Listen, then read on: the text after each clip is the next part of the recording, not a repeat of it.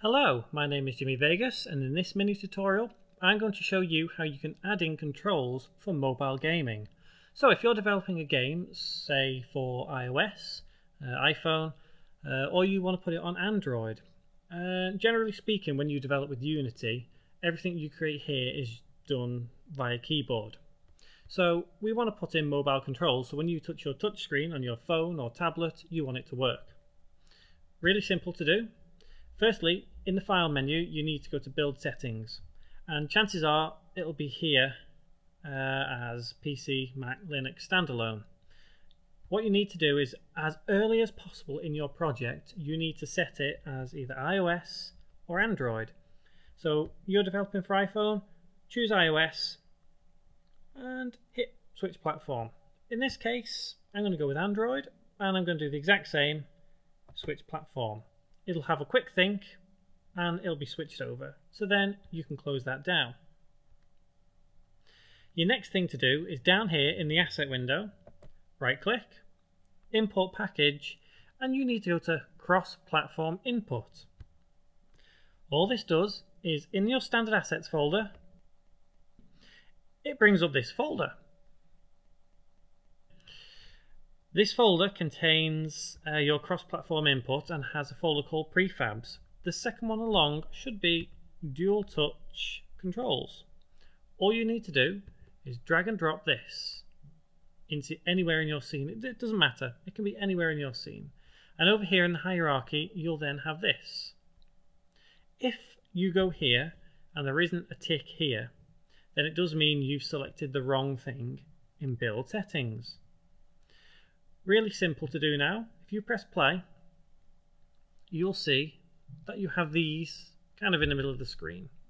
So let's say, for example, you want um, you move touchpad, so you've got your D-pad, and you just need the jump button.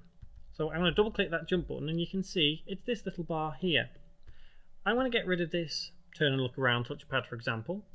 So I'm just going to delete, continue, and I'm going to move this jump button over here. I think maybe. Oh, in fact, I've moved the text, haven't I? My apologies. So make sure you have jump here selected, and let's bring this up to here. So I think let's see. Let's modify the size.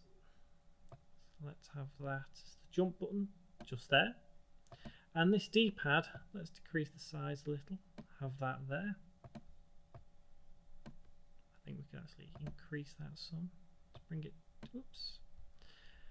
Let's bring it down just a touch to there. And again, let's just increase the size to something decent. Okay, about that. So now, when we press play, you can use this as your area of movement, so you move your thumb around here to move on D-pad, and then you press your other thumb here to jump. Now, on a computer, it doesn't really work. You actually need um, this to be published on an Android device, and that is in your build settings, but you need an Android device connected to your machine. So, another quick little thing before we go. Uh, let's change this to, I don't know, let's say you want it red, as you have a red sort of game.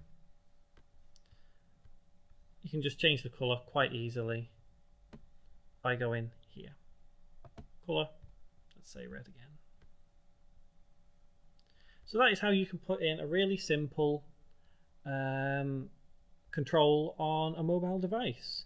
And the great thing about Unity is you don't really need to know much coding to do that. Unity already comes with all that installed a lot of people just could never figure out how to actually get it working properly. But the main problem was always your build settings, you need to switch platform. So, that's the end of this tutorial. Uh, check out my other tutorials, there's plenty more to be seen, and thank you very much for watching.